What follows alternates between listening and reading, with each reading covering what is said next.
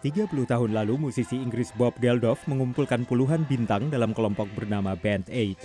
Lagu mereka, Do They Know It's Christmas, menggalang dana sekitar 11 juta dolar bagi korban wabah kelaparan di Ethiopia.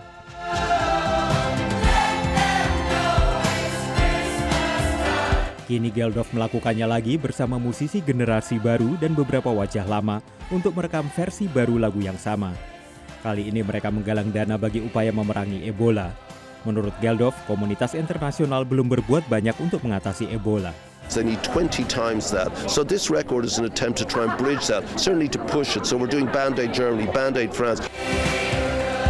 Lagu ini telah menduduki puncak tangga lagu di Inggris. Redaktur majalah musik NME.com mengatakan tiga dekade lalu lagu ini bisa menjangkau jutaan orang. The way we consume music has changed dramatically. Um, so you know, obviously this version of Band-Aid is going to be available on a, on a few different formats. Tapi rilis Band 830 ini kurang mendapat sambutan di Afrika. Menurut pengajar musik Ethiopia, Esra Ababate, judul Do They Know It's Christmas seperti menggurui. I accepted Christianity in the first century. You know, we know we know it is Christmas. But the thing is, you know, as I said, is labeling the entire Africa like a country. It's a very bad expression. Africa is a continent. It's not a country.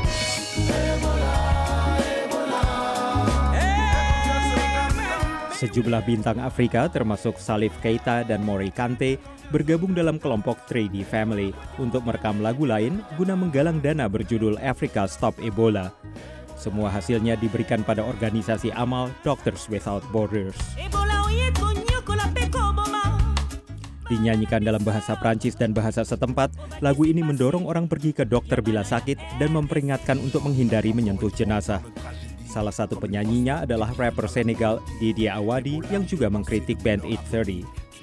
Anytime we have a problem in Africa, Bob Geldof, I'm the angel coming to help the Africans.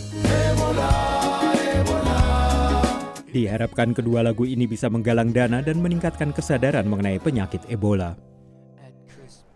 Meski banyak dikritik, versi baru Do They Know It's Christmas melejit ke puncak tangga lagu di 62 negara dan kini menjadi single terlaris di Inggris tahun 2014. Dari Washington, saya Helmi Yohanes dan tim VOA.